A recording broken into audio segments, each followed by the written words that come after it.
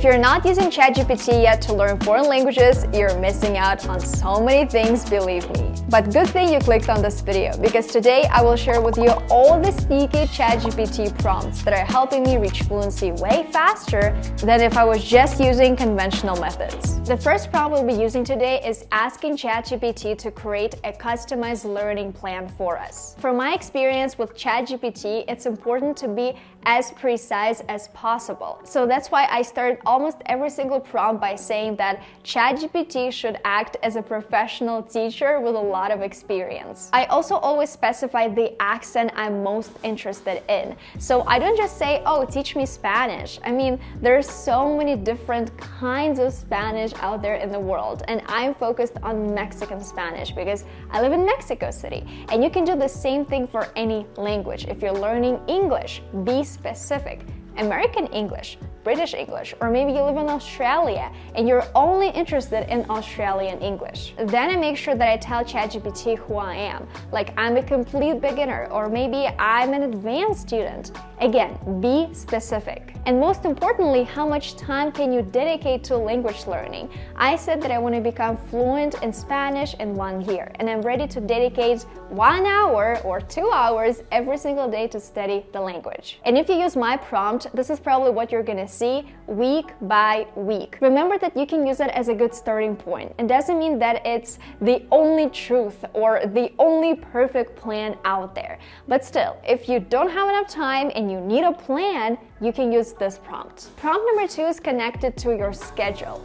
I understand that lots of you guys are extremely busy. I'm busy too. Like, yes, I'm a content creator, but it's my job. It's my full-time job. I can't just be sitting and learning Spanish all day. No, it doesn't really work like that. So the second thing we want to do is we want to add ChatGPT to fit Spanish learning or language learning into our busy schedule. So I tell ChatGPT what my schedule looks like right now and when I can potentially study. Because I always say that when it comes to language learning, for me, it's important to time block. I just open my Google Calendar and I time block for the whole week or even a whole month if I know that my schedule stays the same. So as you can see with my schedule, I can only really study Spanish in the evening.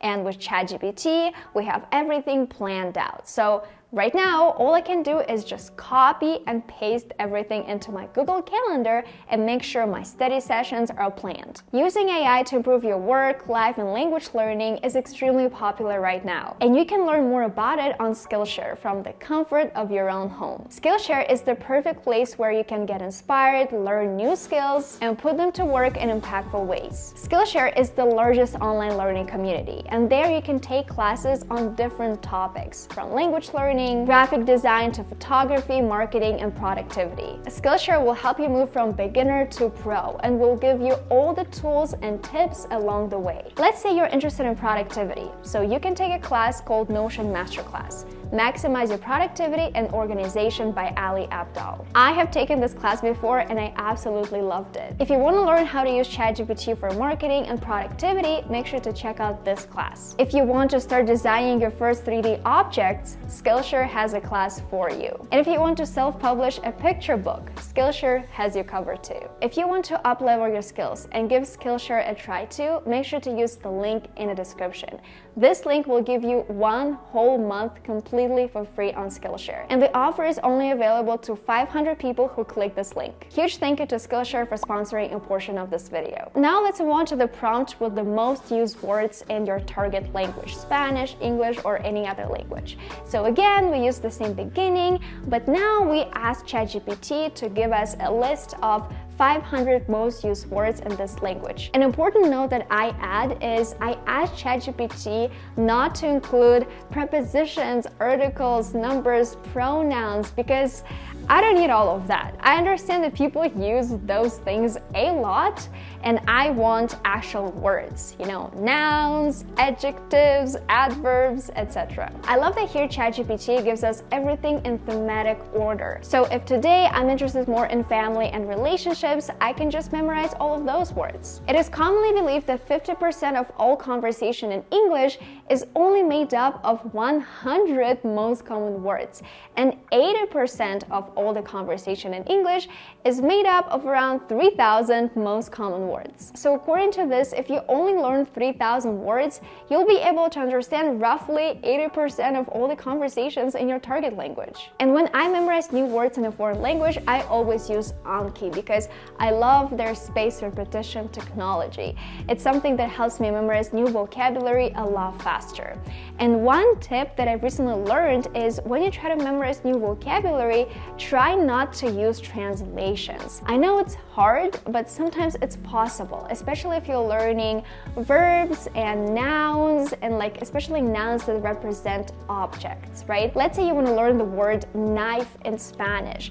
So instead of having the picture of knife, the translation in English, just have the picture and the Spanish word cuchillo, and that's it. I have heard some people say that this approach of using no translation helps them learn new vocabulary a lot faster and also use this vocabulary in conversations. And right now, I have started using this approach, and I can say that at the beginning it felt a little bit weird because I'm so used to using translations all the time. But the more I use it, the more confident I feel because now when I see a picture on my Anki app, I immediately think about a Spanish word instead of thinking about its translation first. The next prompt that I often use is connected to asking ChatGPT to explain something and especially to explain the difference. Explain the difference between this word and that word because when you're just starting out learning a language, there are going to be lots of words that seem very similar to you. To me, at least, that's the case right now in Spanish, and I'm like, what's the difference?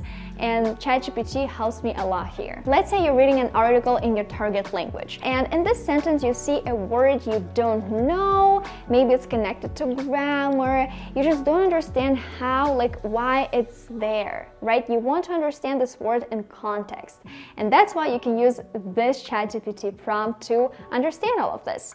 I usually use this for grammar, again, especially at the very beginning when you don't know a lot of grammar rules, and if verbs change a lot, you just feel like, you know, you don't understand the meaning. Like, for example, in English, why do we have to say have changed or will be changing or, I don't know, have been changed? For example. If you have a sentence, you have the context, you can ask ChatGPT to explain like why this verb is like this in the sentence and maybe provide you more examples. The next prompt is funny because I like using it when I just want to have some fun and I want to improve my language feel, like how I feel the language. Basically, recently I learned a new word in Spanish, la morsa, which means a walrus, I guess, in English. And so I decided to ask ChatGPT to create a joke for me.